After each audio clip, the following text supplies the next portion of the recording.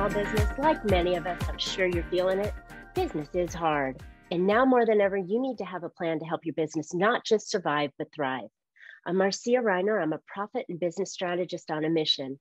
I've helped tons of small business owners to establish and implement a tangible plan that guarantees increased profitability and guides your growth. I want to share strategies that I've earned and learned with you on today's Profit with a Plan podcast. Wait, but before we get started, I have something I want to share with my listeners. I put together six easy, um, easy tips to implement that will help you improve your profitability right now. You can go pick those up on my website at trajectorybiz.com. That's T R A J E C T O R Y B I Z.com. So I'm really excited to have my guest on today. He's a dear friend of mine. We've been collaborating and connecting and sharing. I'm just loving Kaid.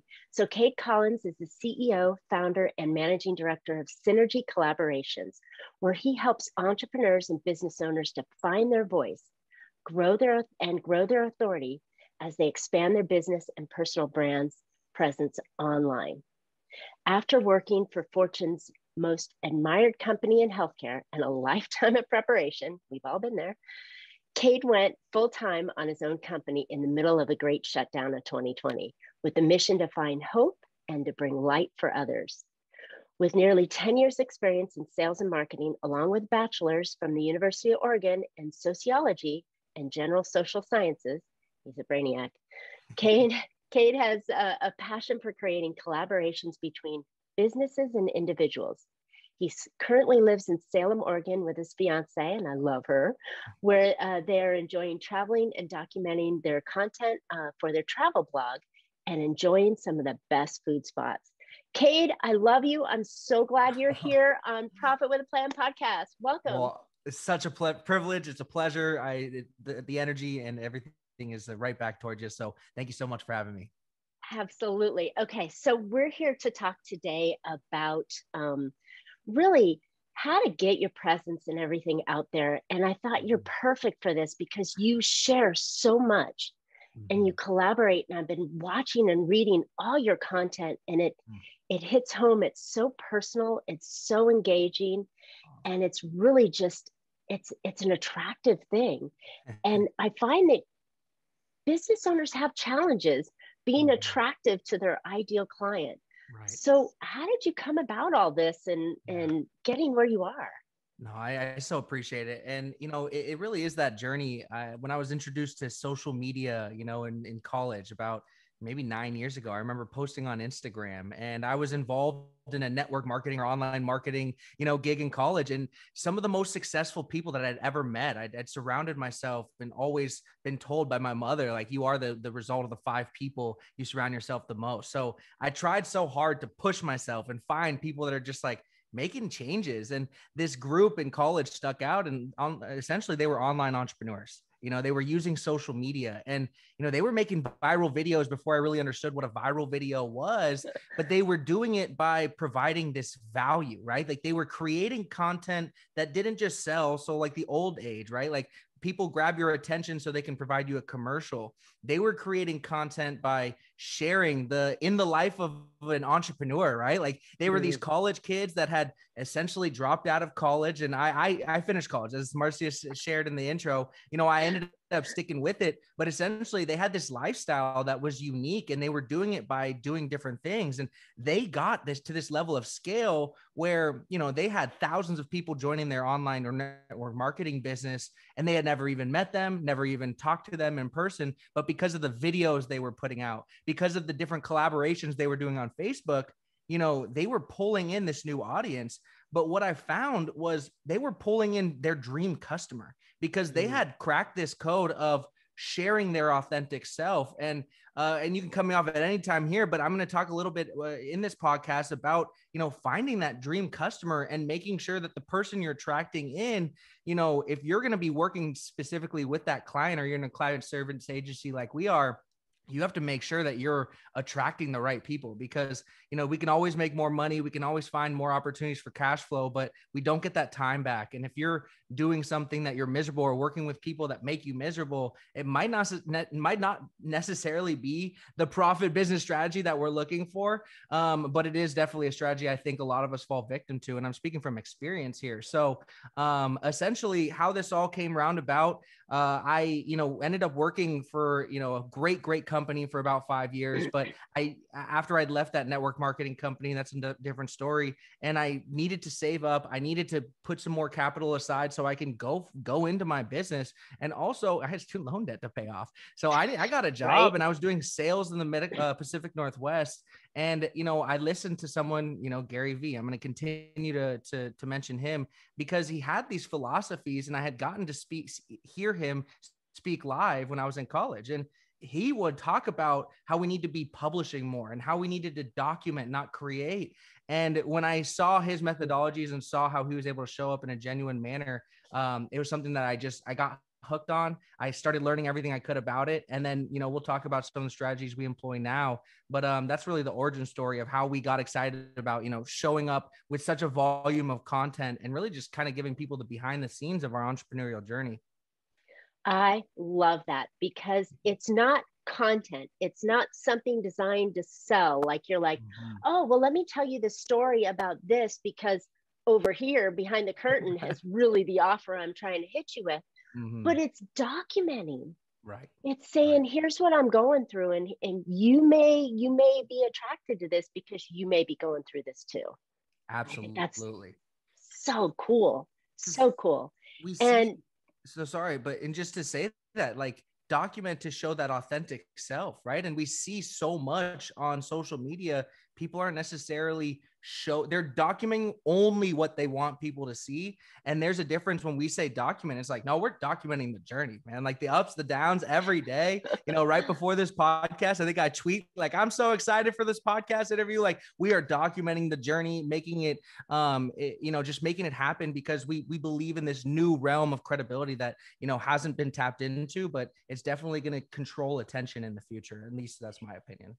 I think that's a great opinion. And I think the difference authenticity is a big word out there everybody's mm-hmm. using but it's fake mm-hmm. you know like you said mm-hmm. they're they're trying to they're trying to only show you the, this side of the authenticity not the other side of the authenticity like curated authenticity let's call it that that's fantastic tag that word curated authenticity because that's fantastic because that's what you're seeing. Mm-hmm. You're really not seeing the truth of of what the struggles people go through and and everything that they have, and and the attractiveness.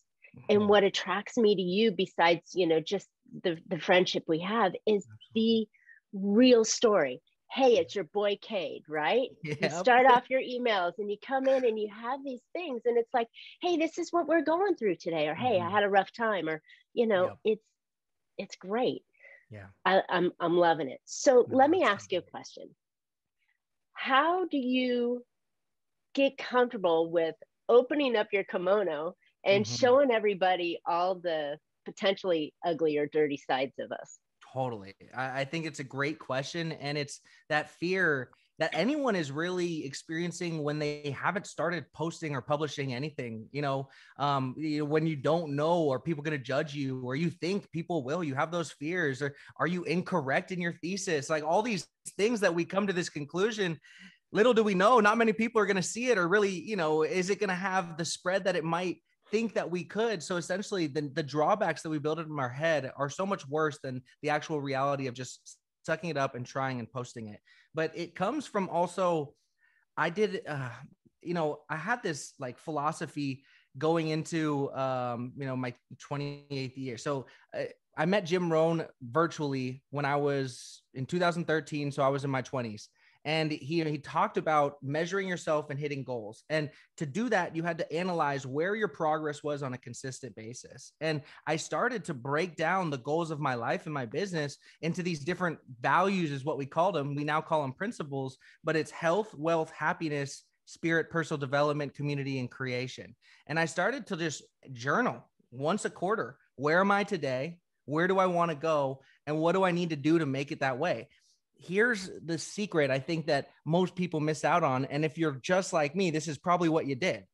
You find out where you are, you figure out where you want to go, you write down exactly what you need to do to make it that way, and you maybe do that for the first week or you maybe do that for three weeks in a row. There was no time where I was still doing the same thing I said I needed to do the quarter before, unless it was something that was just arbitrary or something I enjoy that didn't actually build me and bring me towards my goals. And this doesn't just apply in our lifestyle, it applies in our business, right? Where are we today with our leads? Where do we want to go with our leads? Where do we, what do we need to do to generate more leads, right? Like this is with sales, conversions, you know, retention, all these things you can measure your your your business this way.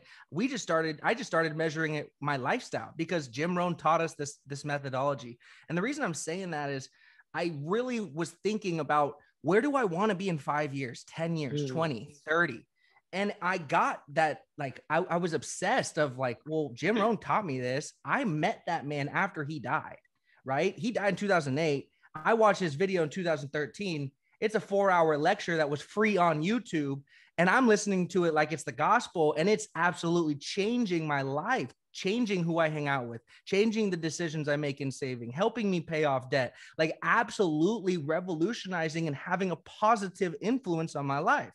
And that's where I come to this conclusion that positive influence. Well, I want to be an influencer right? That's where I'm thinking now. And that's where I stand a little different than most people, especially if you're under 20 on TikTok. An influencer in my realm is a lot different than the 20,000 followers on TikTok or Facebook and you post your pictures and like you're just that that's not what I mean by influence here. I mean someone that is influencing whether it's one person, multiple people, a community, a tribe. That's the influencer. So I figured I wanted to do that and I saw how people were doing it. They're doing exactly what you're doing with your podcast, right? They're creating and having people on that can learn and share these journeys and bring these experiences. So you don't have to fall into the pitfalls that other people have done before you and also can inspire and move you forward with new strategies that you're bringing on with your own frameworks and that's what's so exciting i wanted to be able to do that same thing and i really wasn't confident on camera i didn't is anybody I mean, gosh, that takes a while. That takes a it while. Takes, it takes a while. And that, to, to prove it, I, I, I did this thing with my fiance, you know, fast forward, right?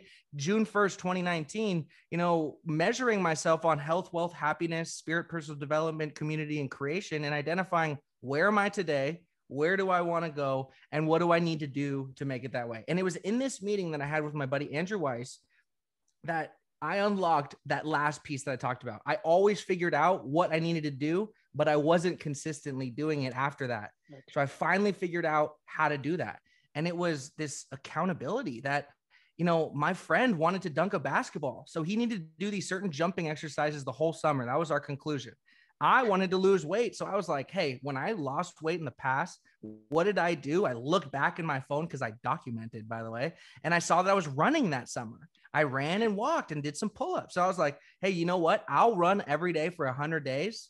If you do your jumping uh, exercises every day for 100 days, I'll put up $500 and you put up $500. If one of us doesn't do it, then the other person gets the money. So it Ooh. brought in this this put your money where it, your mouth is mentality as a very competitive type of person too, but also we didn't realize it at the time, but we created a content strategy that actually documented what we were doing and actively working on when it came to our principles and our values. And when I went home and told my fiance about this, she's like, that's exciting. I want to do it too. So, by long story short, we showed on social media. We had about five people join in the next few days. So, $2,500 in the pot. But each one of us we're documenting for 100 days that whole summer what we were doing to improve ourselves in either health, wealth, happiness, or health, wealth, or spirit, you know, all these different categories. And when we finished that, we had all this content that we could repackage and repurpose. But also, what we were showing was hey, we do this, we can prove we do it. And if you need that result, this is where I was, this is where you want to go. You can literally show them exactly how you did it. So now you ask, the reason I had to give all that background is you ask, like, how do you start to feel confident on camera? Well, one, you do it because I'll tell you, I did 200 100 day challenge doing a, a, a, video every day still didn't feel comfortable.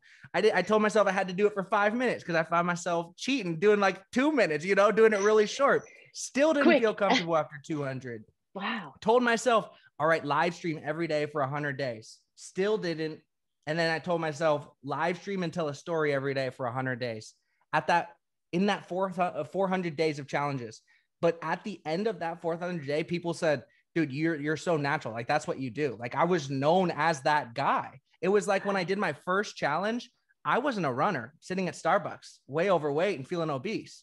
But at the end, I had posted every day for 100 days, me running a mile. Everyone knew, thought, and saw me as that. And also that I was someone that was disciplined and accountable. So not only did mm. I elevate my credibility in these people's minds, all of a sudden I started to tap into some authority that I can now talk about running because I was showing that I was doing it every day. So, lastly, what I just wanted to hit on is you know, you're going to have these phases as you're going forward. So, if you don't feel confident on camera, do it until you start to feel that because you're going to start to have that credibility in your own mind.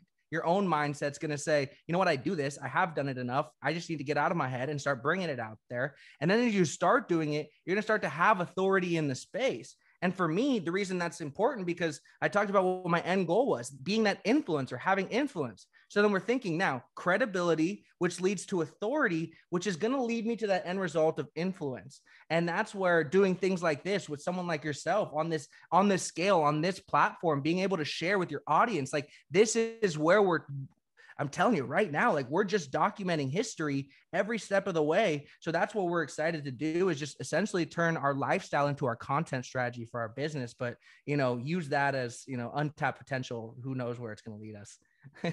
Fantastic. Wow. You know, I mean, having a story like that, that you're just documenting what you're doing, whether you're um, a, a, a, chiropractor creating a mm-hmm. new a new system or you're helping a client improve yes. from zero uh, you know a pain of a 10 down mm-hmm. to a mm-hmm. pain of two or three and you mm-hmm. document that that's power or you're you're you've got a a training program and you're showing them step by step by step you're not giving them necessarily the how that they Love can it. go home and do it themselves but you're showing them the results along the way yeah that's that's the documentation. That's the big aha mm-hmm. I'm taking from this. It's no longer that sales strategy of curated comment content. Right. Exactly. It's, it's so authentic of the results that you're producing. And I think it's I think it's fantastic. And you said something so exciting that's, you know, we're just starting to tap into because you know we were building this in our own heads for a long time and then um, you know you build things in a bubble and that's where you know investing in coaching and you know masterminds and surrounding yourself with other people that you start to open up that eggshell and you start to unravel the onion and really get the heart of what you're trying to do and serve. What you said too is like if I can do that for myself, it's great. I know I've already know the benefit of me documenting. I know if I want to have a conversation about what I did you know, the first day I joined my first high level mastermind, I literally have documented evidence of multiple things from that day, right? And I can create and craft this whole story that's much more compelling. So story selling is something that was really critical here.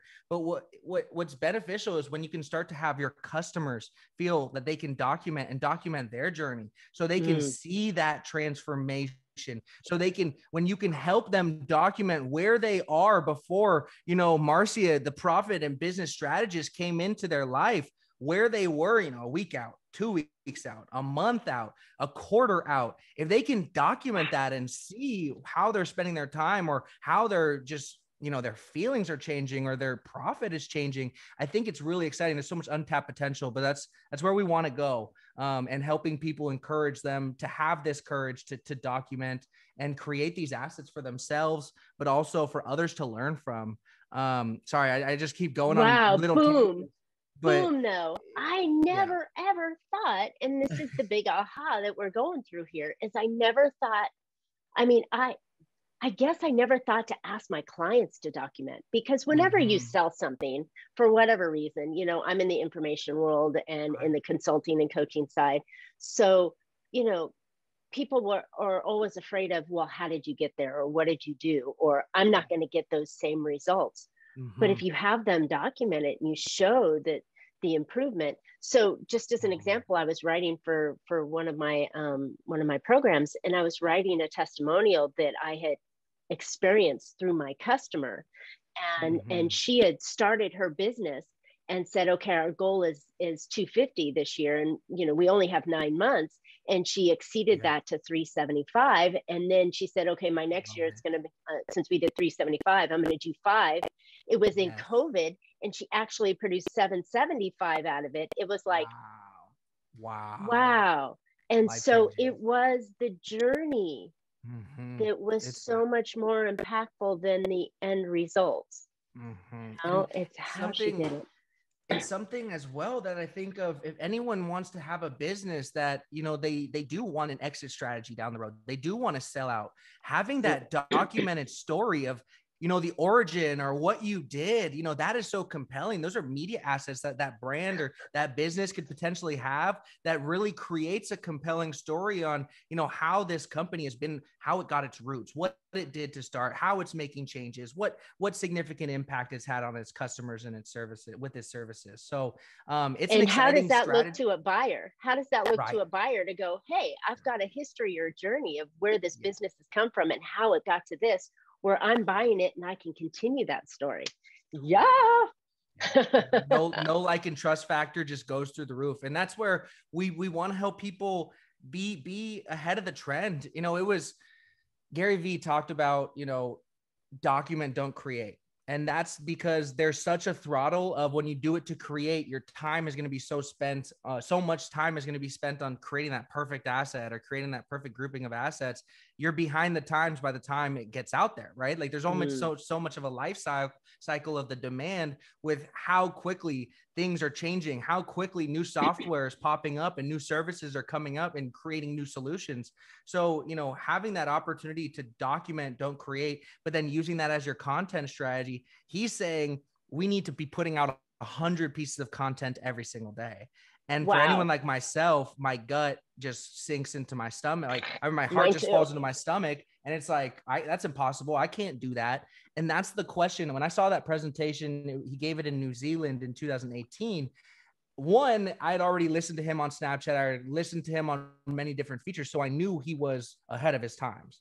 Mm-hmm. I just didn't know how ahead and how accurate he was and now that you see the facebook and all of these you know large behemoths that control all the attention are shifting towards creative and creators and getting collaborations and how much content they want people putting out you know it's because all of people's attention is spent on that one place. It's that that glowworm, that phone, you know, that we all look at in our mobile devices where we spend our attention. So how can we dominate, you know, whether whatever it is with your business, it's having that many assets. And to get started, if you're not documenting, that could be 23 tweets, it could be 50, you know, Instagram posts every single day, though. That is difficult. But that's Yikes. where I task myself to I want to get to a place where I can do 100 and just for myself, we're over 200 per week. You know, we're actually around 469 per week, but it's that progress, it's that process of, all right, what does it take? Because instead of saying that's impossible, I can't do it, I started saying, well, how can I do that? What can we do? What processes, what systems, what automations can we put in so that's actually possible? And that's where documenting the way we do with our process has led us to be able to almost now hit that number. And that's why it's going to be exciting. I know when we do our, our revisit of a podcast or you know have another one here it's just going to be like all right we're hitting that 100 per day. Now once what's wow. you know what's 800 or what's 200 per day? You know that's where we're really going because there's so much so much content being put out there and there's such an amazing ability for the algorithm or the social networks to put the right content in front of the right people where you can build this contextual relationship you know for people that have been missing out on facebook ads and instagram ads for the last three years you know if you could go into a certain area a certain country and contextually, you know, for example, the United States make an advertisement for every state and separ- separated that much, the it, the engagement just highly outperforms. Hey, what's up, everyone? Join my social uh, influencer group, or hey, what's up, Oregon? Join my social influencer group. Right? Like it is just so much more contextual, and the more contextual we can get with our content, the stronger we're going to build those relationships with the right people. Hmm. Um, mm. So I was circling. Okay, so I'm overwhelmed because I can't do a hundred posts a day. But you know, when it. you think about it it though if you start if you start you know and you're using different media outlets and contents yeah. and pieces and phone mm-hmm. calls and text messages and emails and you know mm-hmm. it's possible to hit that and and hitting yeah. that up but i think that i think that for us not everyday people but us people yeah. that that aren't influencers the way that you want to be an influencer Right. It's still important to put something out of value and yes. document that on a regular basis. And that regular basis could be one time a day to your mm-hmm. to your world because right. people for we're we're on a seven second memory yeah and and distracted with squirrels and shiny objects that are constantly pulling us away and if you can get in front of your ideal customer on a mm. regular basis meaning daily, yeah. you know, several times a week, then you're going to be in front of mind when they're ready to make that movement. So good. So good. Instead of going, oh, what was that girl's name that I saw? Oh, wait a minute. Oh, mm-hmm. there's another lady over here, another guy over there. And you lose, you lose track. All that work you spent to obtain a customer mm-hmm. is insane how expensive customers are to obtain. And if you could drop that by being point of mind mm-hmm. when they're ready to make their decision or influence or lead them to make that decision with you versus somebody else, mm-hmm. then it didn't cost you as much. Right, right. And you're building this this relationship that you know it, it's not just that one off sale you're you're you're creating that customer for life right like mm-hmm. how can you um, build that no like and trust factor at scale for a long period of time and that's where you know I love that you said like for people that are normal. I'm not saying people need to publish 100 di- times per day. No, I try not to. for people not crazy. No, I'm just kidding. Um, but essentially, it's you know it, it's for our goal, and we have a very specific goal in mind, right? So like our clientele or our business is about that personal brand and that influencer status, but that's not necessarily what's true for everyone's business. But just knowing that there's people that are publishing 100 times per day, and some of our listeners, because I was there, probably haven't published 100 times this year that should make you a little nervous and sick that your competitor could potentially be creating that much more stronger of a relationship because they're putting so much more content out there. So just getting started is the key there, right? Yeah. Don't worry if it's one piece of content. If you haven't published at all this year, get a content piece of content out there. Challenge yourself to do it the next day. Challenge yourself to maybe just do it the next week. Whatever it is, but just get started. That would be my number one thing that I just want our audience to say, just get started. Like start putting yes. it out there, Something. but also in Something the wave of value. Of, yeah, yeah, a hundred percent. Start giving value, right? And but also value can be time stamping who you are at that point in time and what you think you're here to serve, and just having a little a piece like talking in a, a quick uh, Snapchat video or Instagram story, or even just putting a video that you take on your camera roll and post it to Instagram or Facebook saying, This is who I am, this is what I do, and this is who I want to serve next, right? Like bring this out there so you can start and then when you get started, you're going to start to find the ways and it's going to take time, right? I think that's what's so critical. Unless you want, until you get to the level where you can hire a team like Synergy to, to, to, to come out and manage this all for you, you know, you're going to need to learn how to do a lot of this yourself. And that's why reducing the pressure that it always has to be some pristine curated authentic piece of content Perfect. versus showing up is most important first and then also pro- providing value on the back end um, while my number one focus is just making sure that you're thinking about who you're showing up for and it sometimes i think we always think about our customer but also remember show for yourself too like yes. you know you you really want to show up for yourself you really want to show up and attract that right person so what i'm saying there is don't be inauthentic. Don't say the things that are just going to bring the right people in your business, knowing that you're not actually wanting to work with them, or maybe reconsider what you're doing. Um, because when you have when you have the opportunity of time, you know, let's use it to make that positive influence. That's that's my number one goal for people. Woo-hoo! Like it a lot. And there's so many opportunities. You know, if you think about if you think about watching TV, I don't know who watches yeah. much TV anymore with with all the streaming, but there's the same commercial that hits you four times in an hour and then you yep. go to the next show and then it's another commercial and then that one pops up again and and it's about repetition And yes. I think that's the piece. And you have to just get started. So this has been a real great lesson, Kaid. This has been helpful. And I know many people are fearful of, of mm. putting out content, but just be yourself and document what you're doing. Fantastic. Love it. So, so Kaid, where can listeners find out more about you? Yeah, no, I'd love to connect. Um, you know, they can, you know, we put together a little worksheet for anyone as well wants to grow their influence, their credibility and authority. So www.synergycollab.com forward slash worksheet. Um, but then Instagram, it's K-A-I-D Collins uh, and our YouTube channel, Kaid, K-A-I-D dot TV. Um, I really, really appreciate all the time. It's been an absolute privilege. And again, I just want to encourage people get started. And if you're started, get start scaling and showing up more authentic. That, that's the key. And not curated, authentic. Yes. Real, not curated authenticity. Authentic. That's going to be a big one. And I love it. Uh, that's okay. I only charge you 20%. Perfect. Love it. All right, listeners, thank you for listening today. I hope you found an idea or two or five or six to put into your business that will help you be more profitable. And that involves being and creating and putting out that authentic content. So now more than ever, it's important to build your own profit plan. So don't forget to pick up my six tips that will help you provide uh, increased profitability right now. Go to my website, trajectorybiz.com. That's B I Z. Caden, I would love to hear your questions or feedback, and please subscribe and comment on today's show.